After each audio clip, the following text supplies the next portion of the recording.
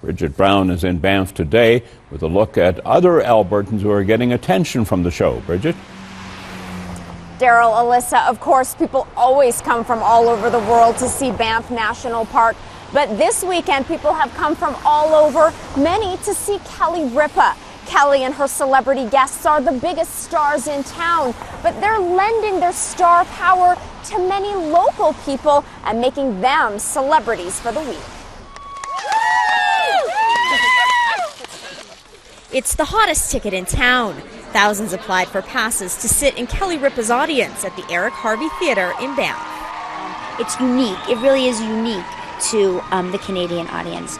They are so enthusiastic. They get our show, um, and we get them, and it's like it's like a real. It's a real, um, like we said, it's a real love fest. That was incredible. Elizabeth Driscoll's trip was a gift from her daughter. It was a total surprise. I was supposed to work tonight. Ripa and co host husband Mark Consuelos had shoutouts for other parts of Canada besides Banff. And it's not spelled with a PH, which I found out. It's not spelled with a PH. But wealth is.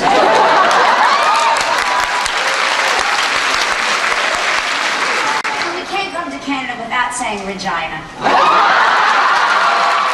The four shows Ripa will shoot in Banff include Canadian content, not all of it of the famous variety. Scott Harrison is a culinary arts teacher at Bishop Grandin High School.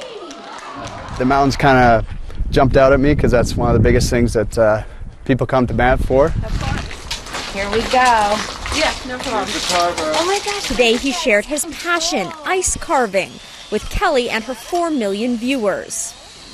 I was ecstatic, obviously. I mean, I these kinds of opportunities don't really come too often in life, so I just jumped on it. Tina Paley of Calgary was plucked from the audience to do a segment called Canadian Word of the Day, a word Ripa's son taught her before she left for Banff. Because he kept saying, when you go to Canada, don't forget to bring me back a toque, a toque. And I was like, yeah, I'll get you a toque. So, Tina, you're, you're from Calgary. Yes, I am. A local But Paley was delighted to offer a refresher course and meet the star. I was ecstatic. I just was vibrating inside. I was just really, really nervous.